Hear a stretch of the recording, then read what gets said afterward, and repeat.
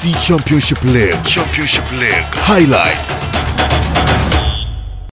Pamba Jiji wakitoshana kufungana bao moja kwa moja hii leo.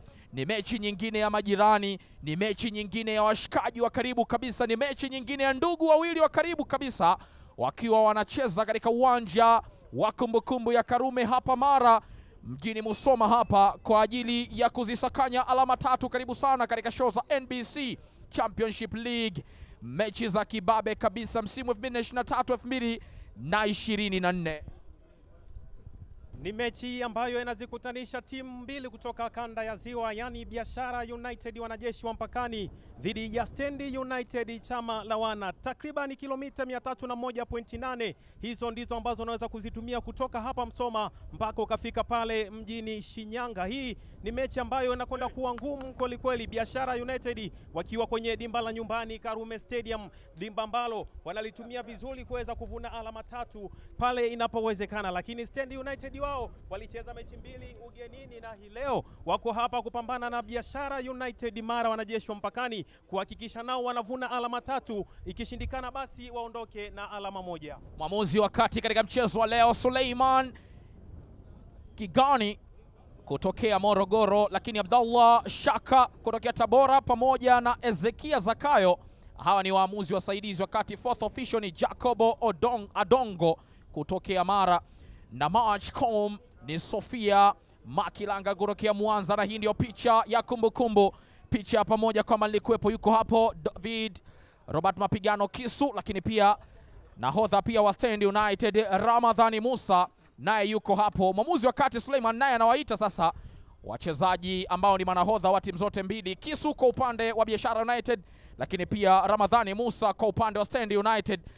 Lengo ni kuwakumbusha zile sheria na utaratibu eh, wa zile sheria 17 za kabumbu. Kumbuka msimamizi ni yeye katika mchezo wa leo, mwamuzi mkongo kweli kweli, na hawa ni wenyeji wa mchezo wa leo. Rehani Kibingu kwa mbali pia utakuwa unamuona, lakini David Robert Mapigano Kisu nahodha wa kikosi cha Biashara yuko hapo.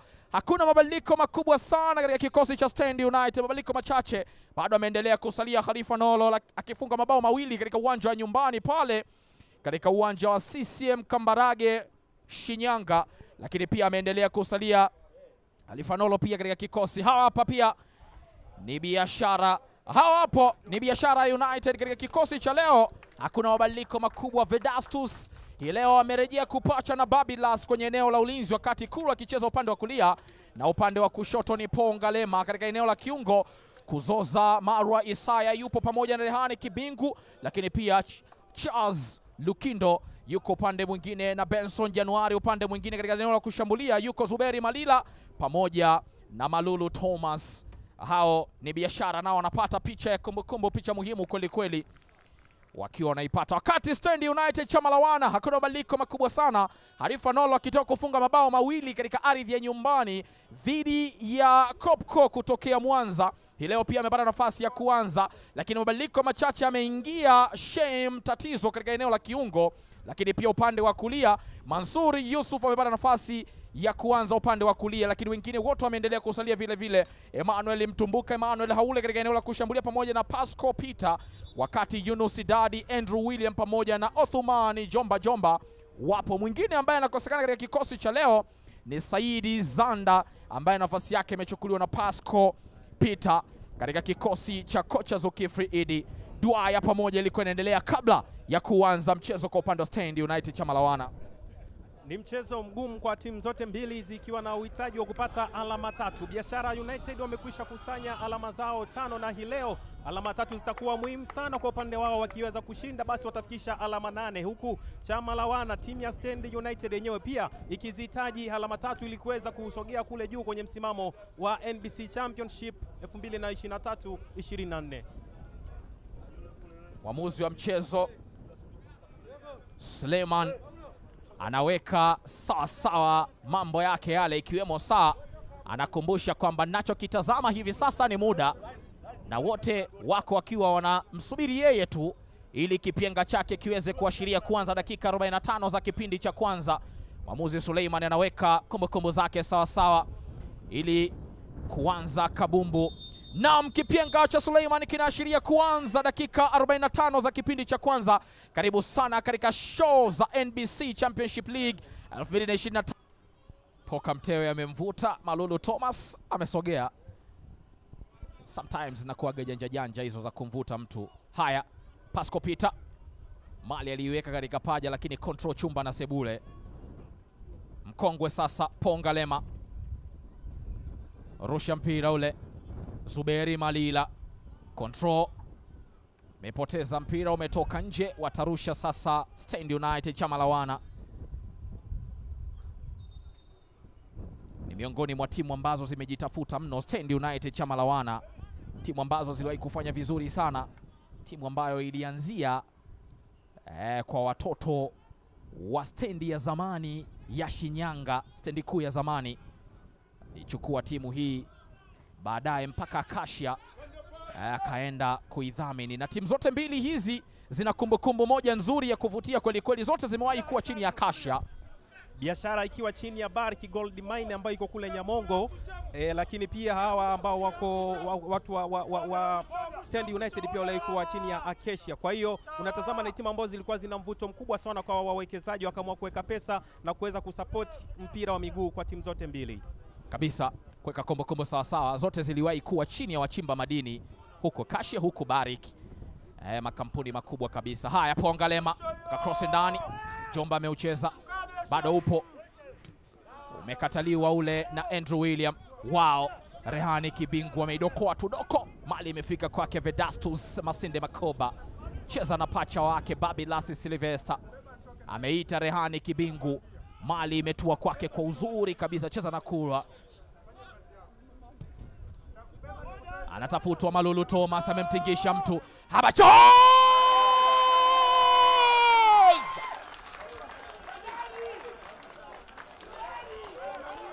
eneo la kujidai la Habachos Lukindo ni eneo hili hili hapa hapa, tayari ameshapachika mabao matatu katika mechi tatu mbili tatu mfululizo. Habachos Lukindo amefunga hapa hapa katika uwanja wa kumbukumbu ya Karume. Hili ndio eneo la kwake la kujidai, anafunga sana haba Charles Lukindo, bao la tatu hilo akiwa katika ardhi ya nyumbani. Wamewatanguliza wenyeji Biashara United, ilipigwa cross ndefu na Kurwa akaenda kumtikisa mtu vizuri kabisa, Malulu Thomas, nafasi mali ikiwa inazengia zengia, amekwenda kumaliza kwa uzuri mno. Haba Charles Lukindo wametangulia sasa Biashara United, bao zuri la haba Charles Lukindo. Ukitazama ni uzembe ambao umefanyika na walinzi wa timu ya Stand United. Malulu alienda kuwahadaa, wakamfuata wote macho akimtolea yeye, lakini akapita Lukindo akaikuwa kwenye nafasi na ameweka mpira kambani. Goli zuri kweli kweli. Hii ni kosa ambalo limefanywa na mabeki wa timu ya Stand United, hawakufanya marking kwenye mikimbio ya Lukindo. Amekwenda kwenye free space, amepata mpira na ameweka kambani.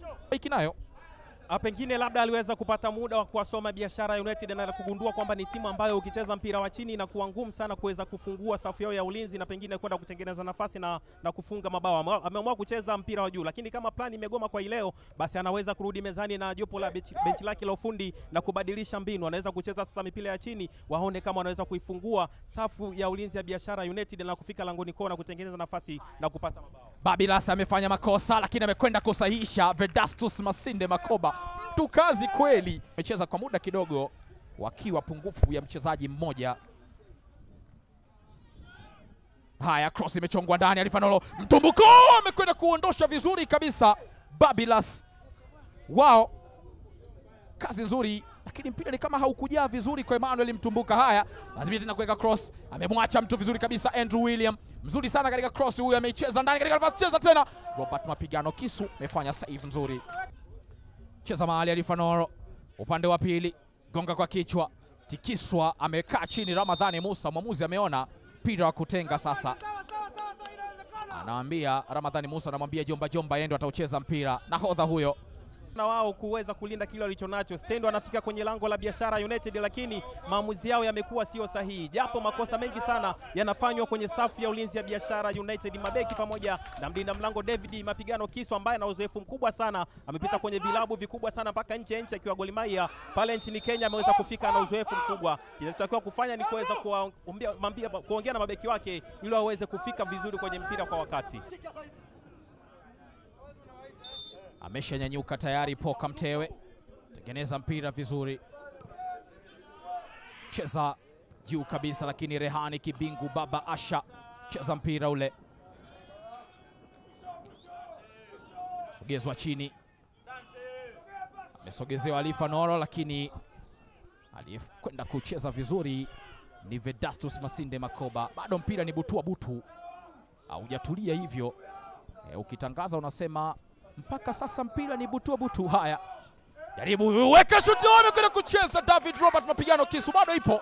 Emmanuel Mtumbuka sogeza tena mali ile kwake Andrew William, sogeza kumtafuta Arifa Nolo upande wa pili. Emmanuel Haule imechezwa mali ile imekwenda nje. Jaribio zuri sana, alikwenda kucheza mpira Pasco Peter, eneo ambalo hukudhani kama anaweza akapiga shuti kwa staili ambayo alikuwa amekaa, shuti ambalo amekwenda kucheza vizuri kabisa Robert David mapigano kisu.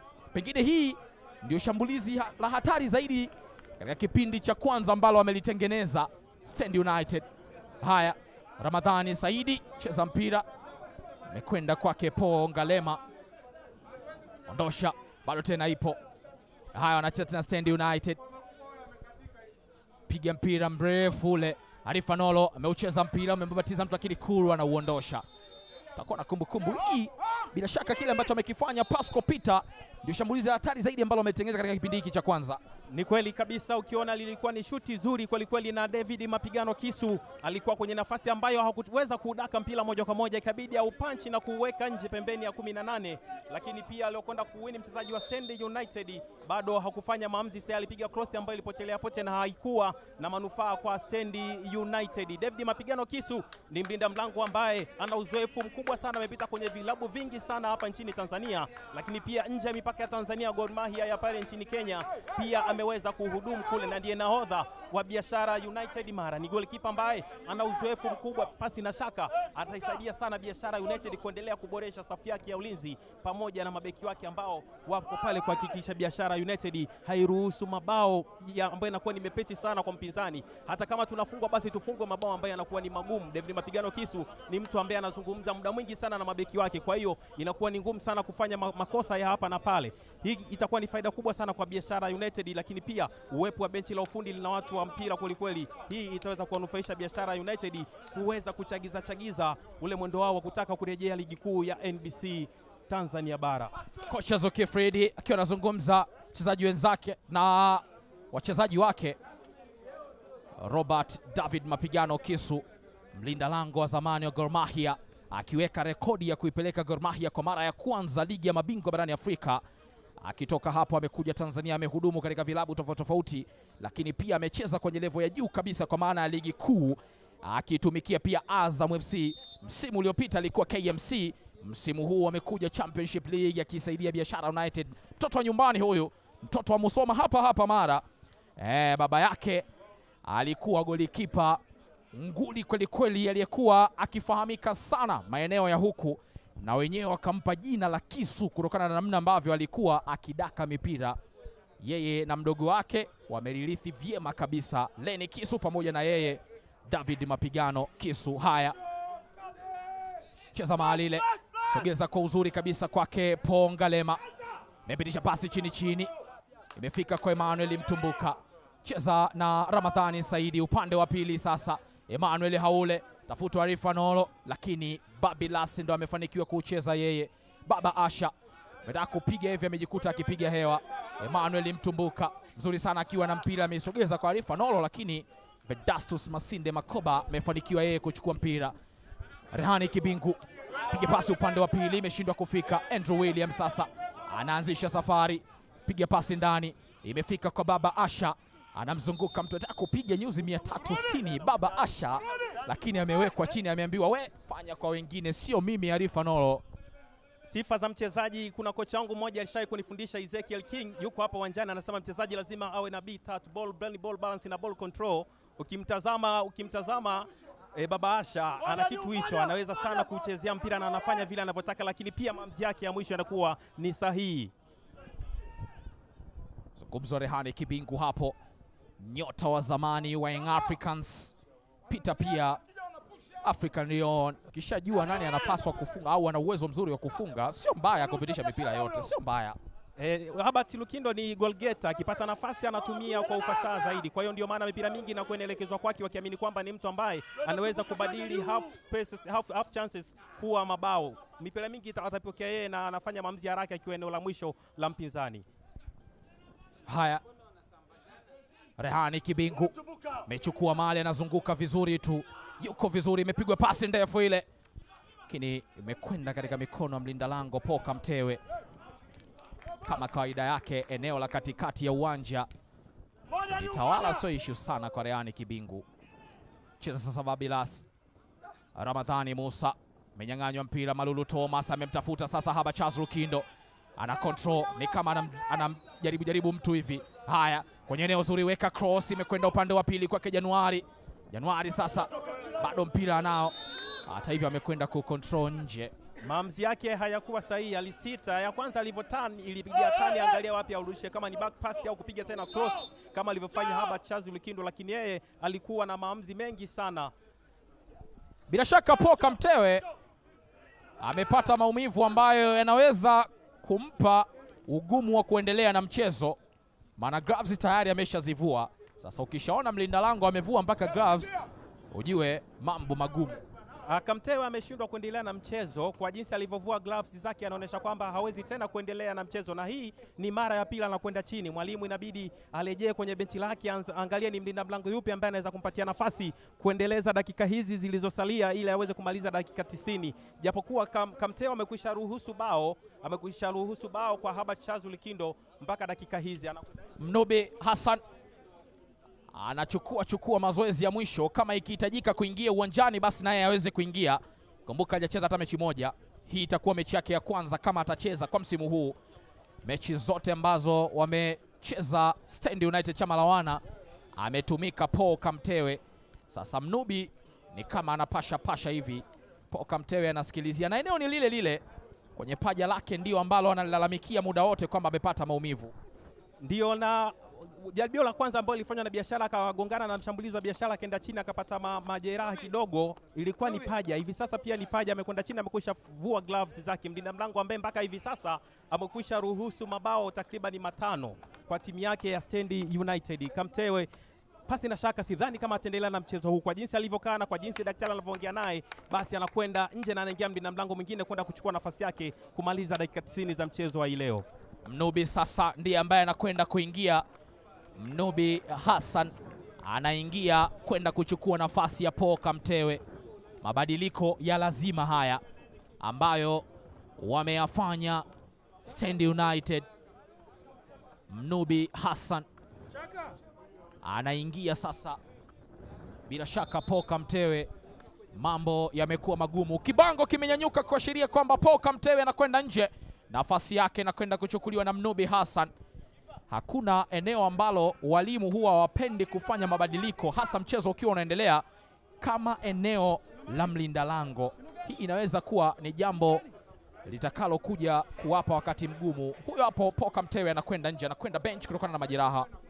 Ni mabadiliko yasiyokuwa ya kiufundi. Hii imemlazimu kocha mkuu aweze kufanya mabadiliko mara baada ya mlinda mlango nambari moja kushindwa kuendelea na mchezo, na hii inaweza kuwa na athari, kwa sababu mlinda mlango anaingia anaingia wakati timu tayari imekwisha poteza, na alipokuwa nje inatarajia inategemea sasa ameingia akiwa na presha ipi. Akishindwa kuendana na, na, na hali ya mchezo na kasi ya mchezo, basi, basi kuna makosa mengine anaweza kuyafanya ambayo yanapelekea kuigharimu timu. Ukitazama Kamtewe tayari mchezo alikuwa anaanza kwenda nao sawa, uwezo wake wa kucheza mipira ya juu. ndio Fredi ndiye ambaye anakwenda kuingia kuchukua nafasi ya Vedastus Masinde Makoba.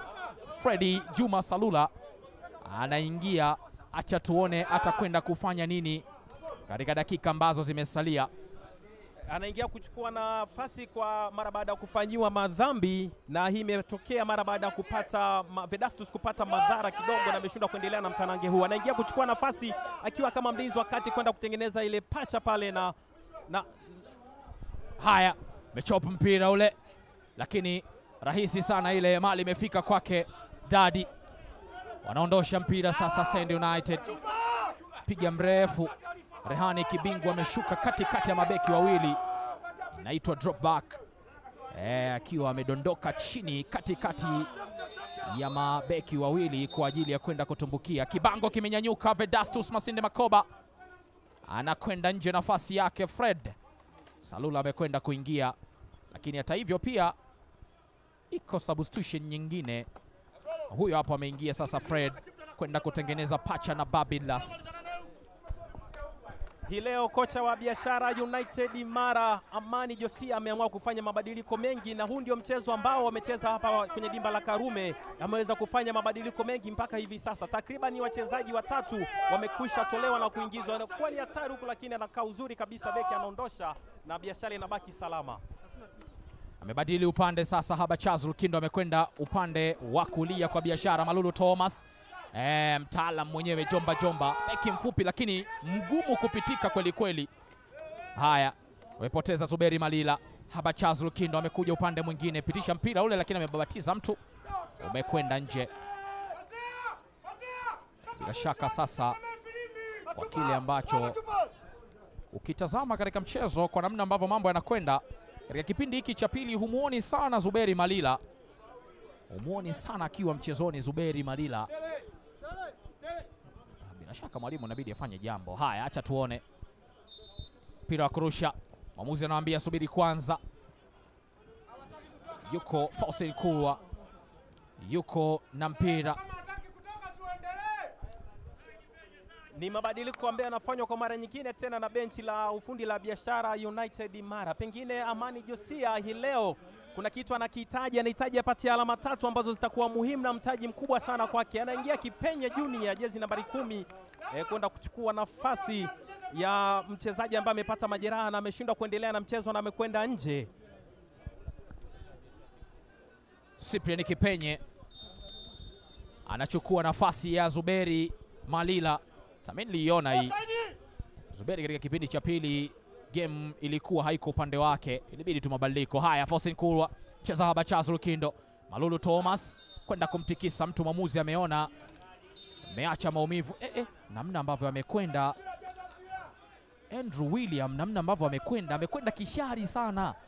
Kama kuna jambo anataka kwenda kulifanya, Malulu anamwambia haya, mimi nifanye nini? Mtu kaenda juu na mimi nimekwenda juu, nifanye nini?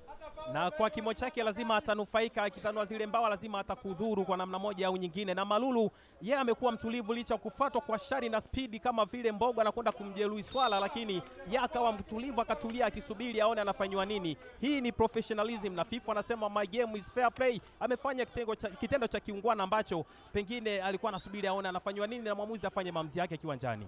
wakati FIFA akiwa anasema my game is fair play. Shirikisho la kabumbu nchini Tanzania TFF wanasema play fair, be positive. Haya, ndosha mpira ule, bado upo, amekwenda kucheza Malila, ameveshwa mtu kikoi wao. Faustin Kulwa, maliko kwake, weka cross ndani, cheza kwa uzuri kabisa Malulu Thomas, lakini kibendera cha mwamuzi kiko juu. Mwamuzi bado ameiacha eh, tayari ni offside, hata mimi nilishaona muda sa. Haya, tatizo, amepoteza mpira, lishakuwa tatizo hili.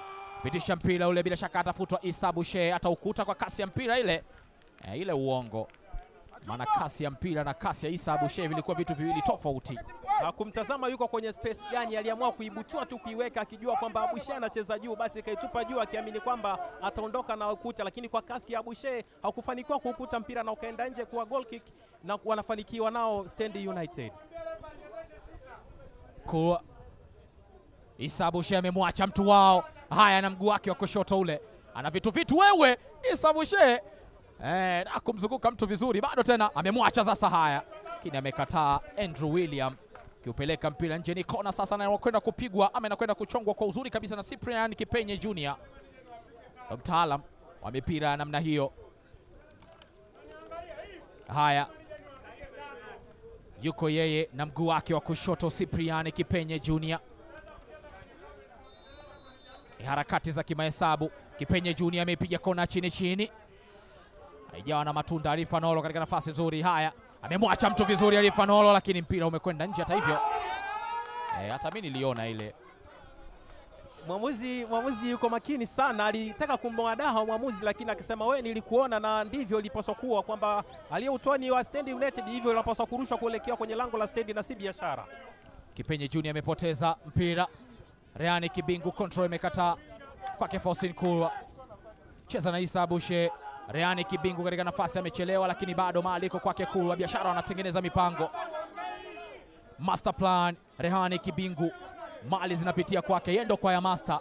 Timu inacheza katika ile rhythm ambayo anataka. Haya, Isa Abushe amesogezewa mpira. Abushe sasa vipas, Cipriano Cipriani Kipenye Junior ni kama mguu wake ulikosa macho na mpira aliyoupiga ukaikosa target, mpira umekwenda nje. Cyprian Kipenye Junior, vipasi nzuri kabisa ikichongwa kwa uzuri na Isa Bushe, imeshindwa kumalizia nafasi nzuri mno akiwa ameitengeneza Biashara United.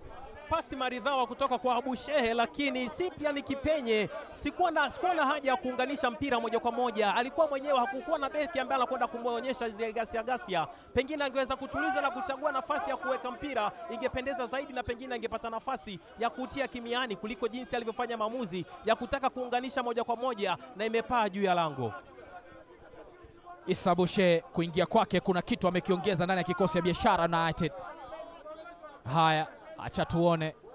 Mpaka sasa Biashara moja Send United sifuri, hawajapata kitu. Chama la wana bado wanajitafuta. Alifa Noro amesogezewa mpira lakini amekataa vizuri kabisa. Fredi Juma Salula, mpira umekwenda nje, watarusha Send United. Yule yule mtaalamu upande wa kushoto ndiye anayerusha mipira, Andrew William amesogezewa. Katika kipindi cha pili hajapanda sana, kama utahesabu hii inaweza ikawa hata mara ya tatu ama ya pili hivi kupeleka cross. Kama ulivyokwenda ndio ambavyo umerudishwa, dondoshwa mali ile.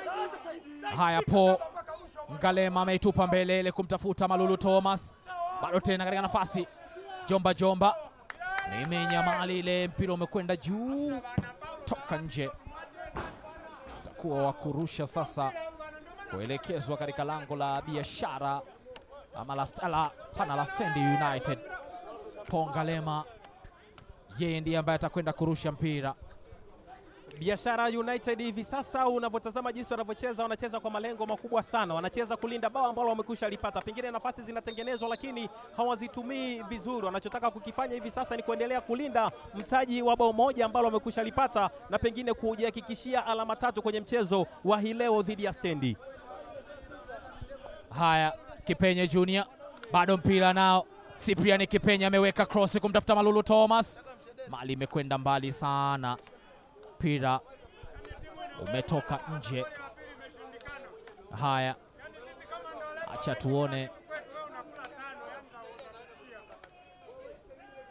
Modric Kabisu ni kama ambavyo amecheza, bila shaka itakuwa zawadi tosha kwa mtoto wake Asha.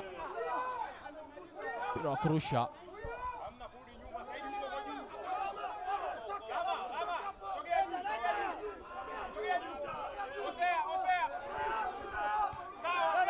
Haya, Malulu Thomas amekwenda kupeleka shinikizo. Ramadhani Musa ameupiga mpira lakini umebabatiza mtu. Ondosha kama ulivyokuja mpira. Yonos Dadi umetoka nje. Mechi sasa imekuwa na presha kweli kweli katika hizi dakika mbili za kuongeza. Ni dakika ambazo zinaweza kutupatia taswira. Je, Biashara United ataondoka na alama zote tatu au watagawana alama kwa dakika zilizosalia? Sidhani kama kuna timu inaweza ikasawazisha na kupata ushindi. Dakika tatu, dakika mbili zimetamatika na ni full time. Biashara United wanaondoka na alama zote tatu katika uwanja wa kumbukumbu ya Karume. Mwamuzi wakati kipenga chake kimesikika kuashiria kwamba imetamatika na imeisha hapa. Dakika tisini zimetamatika, dakika tisini ambazo zimewapa alama tatu muhimu Biashara United, wenyeji wa mchezo wa leo, wakiondoka na alama tatu katika ardhi ya nyumbani wakati zimekuwa dakika tisini ngumu kweli kweli kwa Stand United. Chama la wana Jamu Kaya, mambo magumu kwao, wameshindwa kuvuna alama tatu wakiwa ugenini kwa mara nyingine tena baada ya kucheza mfululizo mechi zao za nyumbani.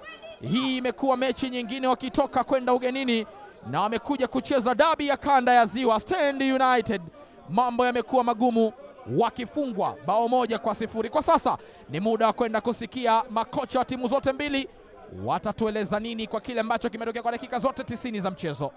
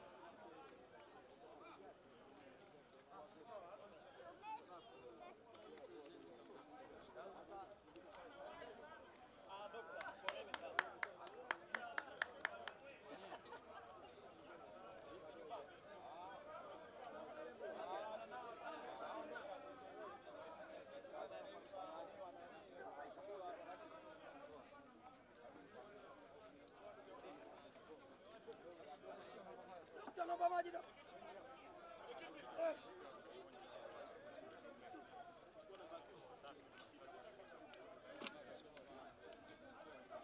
Tika hapa katika uwanja wa kumbukumbu ya Karume, dakika 90 ambazo wenyeji wameondoka na alama tatu hapa katika uwanja wa kumbukumbu ya, Karume, kwa maana Biashara United wao wameondoka na alama tatu dhidi ya Stand United chama la wana, alama tatu muhimu kweli kweli. Lakini hapa sasa niko na kocha Zulkifli Idi kuzungumza naye kwa kile ambacho kimetokea kwa dakika zote 90. Coach, nini ambacho kimekwenda tofauti kwa dakika 90 mechi ya away dabi ya kanda ya Ziwa mkipoteza kwa bao moja kwa sifuri? Awali ya yote namshukuru Mwenyezi Mungu, tumemaliza mechi salama, timu yangu haijapata majeruhi. Kwa yale yaliyotokea, ndio matokeo ya mpira, na kama unavyojua mechi hii ilikuwa ni away. Wewe mwenyewe ni shahidi, umeona mechi jinsi ilivyokuwa. Kwa hiyo tunamshukuru Mungu, tumemaliza mechi salama, tunajiandaa kujiandaa kurudi zetu nyumbani Shinyanga. Mwanapoka Mtewe kidogo ameshindwa kuendelea na mchezo, bila shaka nini ambacho kimetokea kwake, pengine coach, kama unaweza kutueleza? Ah, ni matatizo tu ya masozi ambayo ilibidi tumbadilishe, tumweke goalkeeper mwingine kwa sababu tuna goalkeeper wawili. Kama mmoja amepata itilafu, hakuna budi kumlazimisha kuendelea, na magolikipa wetu wote wawili ni wazuri. Kwa hiyo tukaamua kumwingiza goalkeeper mwingine mpaka tumemaliza mchezo. Kwenye kile ambacho kilitokea coach, ulizungumza na sisi na nikakuuliza kuhusiana na safu ya ulinzi. Pengine kwa hiki ambacho kimetokea, bila shaka hii ni inatoa ishara kwamba kwenye safu ya ulinzi kuna changamoto kubwa. Hapana, ingekuwa hivyo basi tingefungwa hata goli kumi. Haya ni mchezo tu, mchezo na katika mchezo wa mpira wa miguu kuna makosa. Ukifanya kosa unaadhibiwa, na ukifanya vizuri basi mwe aliyefanya kosa utamwadhibu. Kwa hiyo wachezaji wangu wamefanya kosa moja, basi wametuadhibu, na wapa hongera kwa mchezo.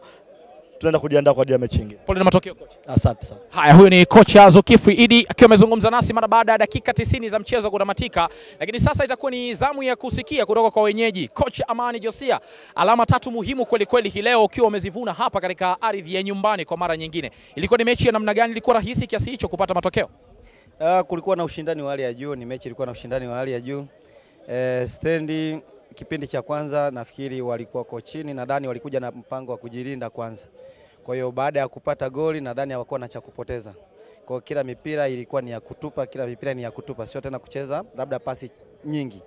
Kwa hiyo ile hali tulibidi tukop tena ile hali, kwa sababu kwa namna moja ama nyingine unaweza kuona walikuwa na matumizi ya nguvu sana kwenye mipira mingi, walikuwa wanaenda kwa nguvu sana si, si, si shida kwa maana watu wote tumetrain physical, lakini matumizi yale walikuwa wanafaidika nayo eh, haikuwa mimi naweza nikasema ni decision ambayo haikuwa iko sahihi. Tungeweza kupata ushindi labda hata zaidi ya hiyo kama tungeweza kufanikiwa kwenye baadhi ya matukio mengine kama haya ambayo yameonekana wamefanya makosa kwenye eneo lao la hatari ambayo kwa namna moja ama nyingine kama pangekuwa na usahihi wa kutuamulia, maanake tungeweza kufaidika labda vile lakini yote kwa yote tulitegemea mechi ya namna hii, kwa sababu unajua stand yuko juu yetu. Kwa hiyo hakuna mtu ambaye anapenda tena kwenda chini yako, na kwa ligi namna unavyoiona mtu anapambana ugenini, at least hata apate alama moja.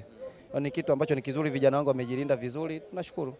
Coach, nini ambacho kimemkuta kijana wako Vedastus, na pengine utupe taarifa, bila shaka tuelewe nini ambacho kilitokea. Tumeona ameshindwa kuendelea na mchezo. Na Nadhani kuna tukio moja alienda na mchezaji wa, wa timu ya stand hewani Eh, contact aliyoipata nafikiri ilikuwa ni ya kichwa, kwa hiyo wakawa kichwani, unajua tena mgongano wa kichwa haukuwa uko sawa, lakini baada ya hapo ameonyesha kwamba anaweza kurejea tu, kwa sababu sio maumivu ya kusema muscles ama sehemu nyingine yote, ni ile fahamu.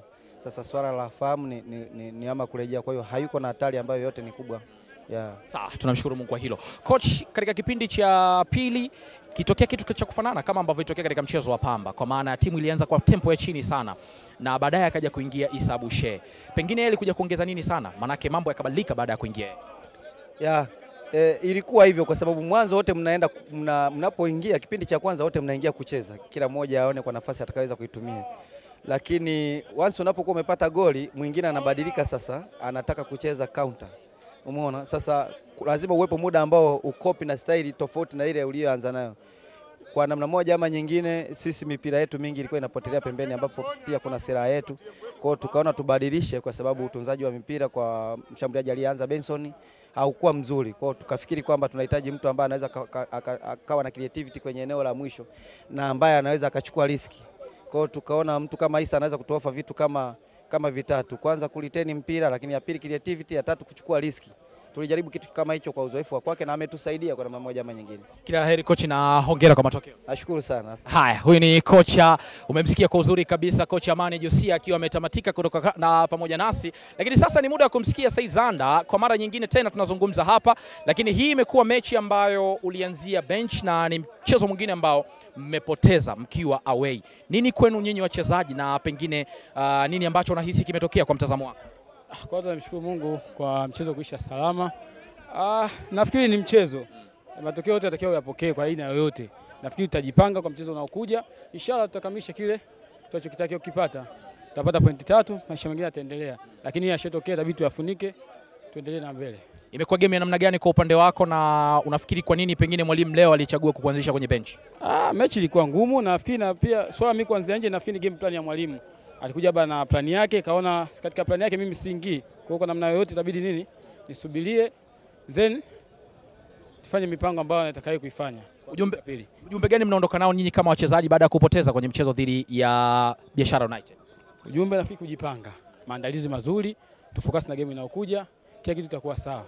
Kila la heri Said Zana. Inshallah. Haya, huyo ni Said Zana tukiwa tumezungumza naye, lakini nyota ambaye anacheza kwa mara ya kwanza hii leo Issa Bushehe amepata nafasi pia ya kucheza dakika kadhaa ambazo umecheza. Imekuwa ni game ambayo imebadilika kwa upande wako Issa Bushehe. Kwanza uh, hongera kwa kile ambacho kimetokea uwanjani, alama tatu ambazo mmezipata, lakini imekuwa ni mechi namna gani kwa upande wako? Ya, mechi ilikuwa tough sana kwa sababu kila mtu alijipanga na kila mtu alikuwa anahitaji pointi, lakini tunamshukuru Mungu tumeweza kufanikisha kile alichotuelekeza mwalimu, tumeweza kuibuka na ushindi wa pointi tatu. Wakati ukiwa kwenye bench, mwalimu alikuwa anakuambia utazame nini na nini hasa? Ya, alinipa maelekezo, aliniambia kwamba inahitaji umakini na inahitaji utayari wa kuweza wani against wani kuweza kumuini beki na kuweza kutengeneza nafasi. Hicho ndio kitu alichonielekeza mwalimu ili nikifanye uwanjani.